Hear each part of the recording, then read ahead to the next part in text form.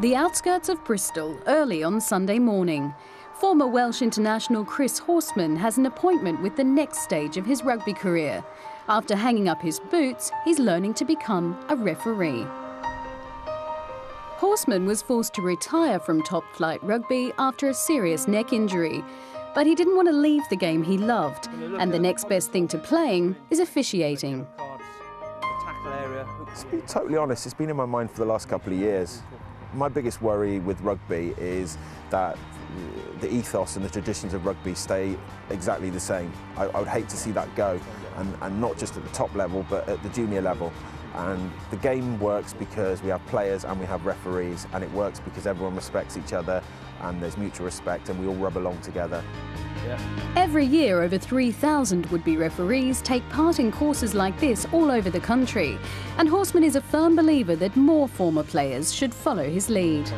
Hopefully, it'll encourage people to get involved in refereeing because it's so important and it will give an opportunity for players to stay involved in the game because what's going to happen now is players my age who started the professional game are going to start to be leaving the game and most of us have gone in and been one thing and one thing only and you're only that.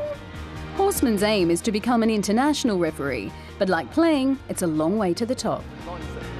In effect, there's probably about seven stages referees go to to get to the top end of the game.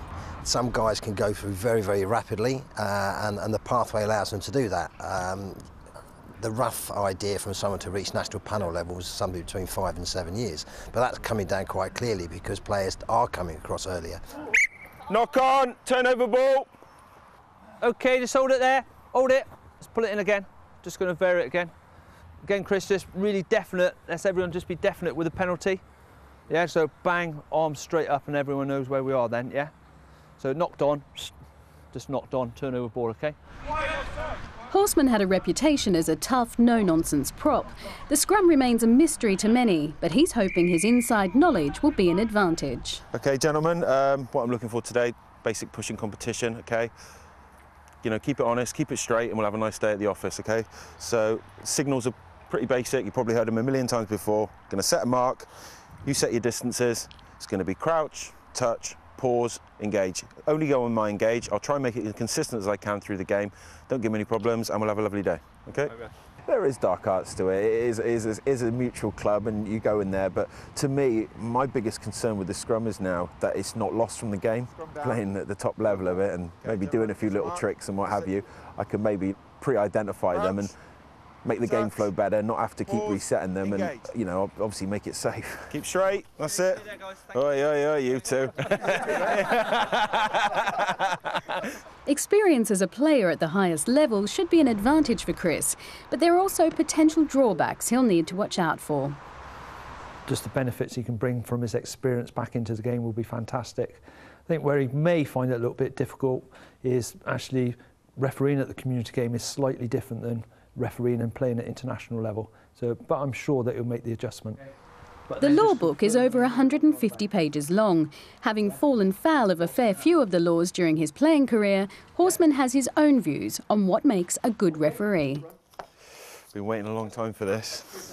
I've looked through the rule book, but to be honest, I don't think it's the rule book that teaches you to be a referee. It's how you implement those rules and you look at the situation. And the great thing about this course is and you know the referees I've spoken to and all the good referees they look at the material effect of what's happening on the game and look at the context in which it's happening so I've given the penalty so yeah. first thing I would have done yeah. clear signal blast number six captain come over here please I'd wait for the captain yeah. to come in making sure no other players got involved pushing them good. away making sure no stay away I'd look at you I'd say I saw what you did it was dangerous play you were rucking, but you were rucking the man. It was a deliberate attempt to injure someone. For that, you're spending 10 minutes in the bin. If I see it again after that, you're going to cut down my options. Do you understand? Yeah. And so far, so good. Chris and his class all passed their level one qualification. Hopefully, just the start of long and rewarding careers. Well, I'm joining the uh, Bristol Refereeing Society, and uh, hopefully by the start of the season, well, I can't see any reason why not. At the start of the season, I'll be out there refing, so uh, yeah, watch out.